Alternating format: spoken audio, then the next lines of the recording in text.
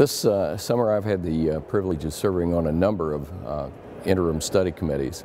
They're, those committees are very important to what takes place uh, in the legislative session because any bill that comes out of a study committee generally is looked at favorably by the legislature.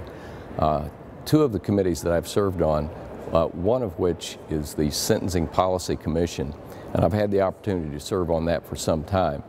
And this year we have been looking at uh, not only the criminal laws and uh, how we can make changes in those, but we also took some time to look at the new judicial uh, internet uh, accumulation of information that brings them all of the information from all of the county courts and all of, uh, of the state into Indianapolis to the Supreme Court. And whether that's the right way to do it or whether having computer systems that just are compatible is the right way to do it.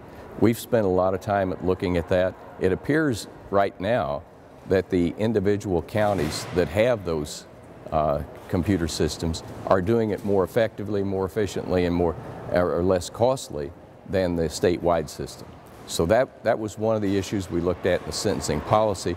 The other committee, the Criminal Code Evaluation Committee, is one that I think is very important to the state of Indiana, not only because we are looking at criminal law, but because we are looking at how can we deal with people and quit sending so many people to prison and filling the prisons up.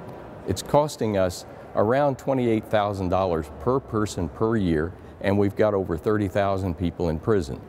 Uh, that's just a very costly way to deal with people who break the law. So we're looking at how can we deal with them more effectively? How can we punish if that's what needs to be done? How can we rehabilitate?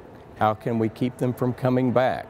And we're doing that through looking at community correction centers and providing a program so that they can come back into the community. We can help them get jobs and keep them from coming back to prison.